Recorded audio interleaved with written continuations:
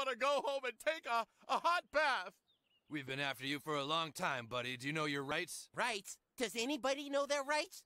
You see, I've learned something today. Our forefathers came to this country because they believed in an idea, an idea called freedom. They wanted to live in a place where a group couldn't be prosecuted for their beliefs, where a person can live the way he chooses to live. You see us as being perverted because we're different from you. People are afraid of us because they don't understand. And sometimes it's easier to persecute than to understand. Dude, you have sex with children.